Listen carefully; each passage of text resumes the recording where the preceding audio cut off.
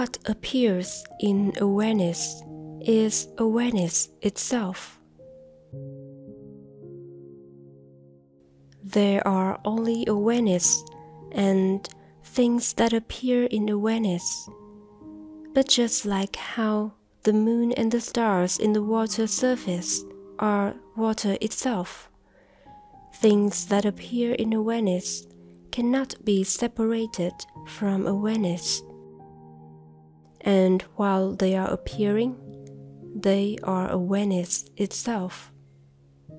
These things do not truly exist, and it's impossible to find them in reality. They exist only when we think. But awareness is always present, regardless of whether we think or not. These things constantly appear and disappear in awareness but awareness doesn't. Only awareness truly exists. Things that appear in awareness are the display of awareness. And while being displayed, they are also awareness itself.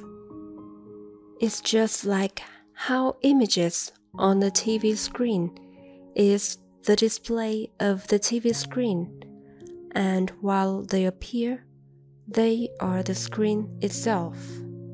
In reality, nothing can be separated from others. The separation of the world into parts is only the content of thought. Outside thought, there is only awareness, nothing else. Awareness is not a thing and cannot be grasped by the mind, but awareness is always here in all sensory experiences.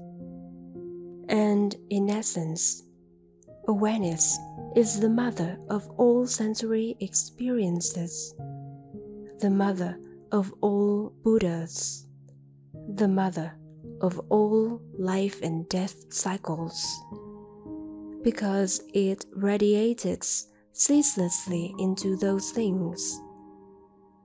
It's like the TV screen is the mother of all images on the screen.